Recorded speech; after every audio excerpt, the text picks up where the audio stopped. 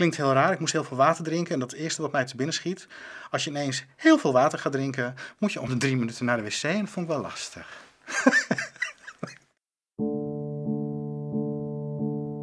Mijn naam is uh, Harm de Boer.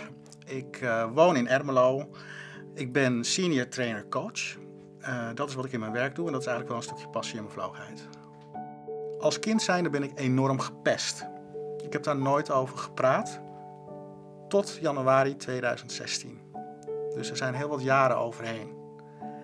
Nu weet ik dat als dingen vastzitten in je hoofd, dat je altijd bezig bent om te overleven. En daardoor ben je eigenlijk helemaal niet bezig met de omgeving, het hier en nu, laat staan de ander. Zodra je ineens erachter komt dat je jezelf vergeet, ben je eigenlijk al veel en veel te laat. En ik denk dat dat ook iets wat herkenbaar is. Roderick wil even spelen, maar dat is wel mijn rust en mijn toeverlaat, dus daar ga ik wel eventjes wat aandacht aan besteden. Het was half februari, dan kwam Harm binnen en uh, het is altijd wel spannend wat er binnenkomt, wie er binnenkomt. Energie vind ik altijd uh, best wel, uh, altijd lichtelijk nerveus nog steeds als de cliënten komen voor de eerste keer. En het leuke was meteen een hele sympathieke man die binnenkwam. Ja, gewoon heel erg leuk, maar wel iemand die moe was. Vooral een moe uitstraling had. Het is eigenlijk een brug bouwen tussen lichaam en geest. De bridge maken, zeg maar, omdat je lichaam alleen redt het niet. Het kan niet zo zijn dat iemand zegt, nou ik ga nu even afvallen omdat ik heb een overgewicht van 20 kilo. Dat kan niet. Wat ik persoonlijk daardoor merk is dat mensen moeten. En je moet niet moeten, je moet willen.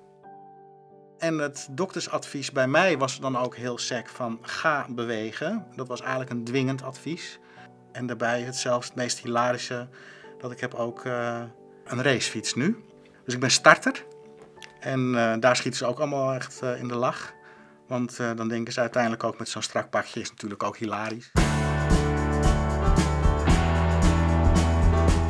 En het allermooiste vond ik na een maand dat Harm in één keer over de drempel sta stapte. Ja. En ik wist dat het Harm was die binnenkwam, maar enorm in één keer een hele sterke energie.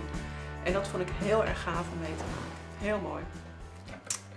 En doordat zij uiteindelijk ook uh, valkuilen durfde te benoemen, van hé hey Harm, hoe is het met je suiker? En uh, ik hou van goede wijn. En uiteindelijk heb ik ook wel eens gezegd van nou Jolanda, je kan me alles vertellen. Maar ik heb van het weekend een heerlijke volle wijn genomen. Want na twee maanden was ik wel heel benieuwd of ik het überhaupt nog lustte. Nou, ik zei vertellen, het was fantastisch.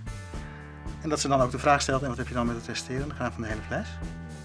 Door het te benoemen, is ze gewoon soms wel een, uh, ja, de bitch noem ik dan eventjes relativerend, maar is ze wel echt uh, iemand die mij in ieder geval enorm kan bewegen in eerlijkheid, maar ook met de lachsalvers voor relativeren.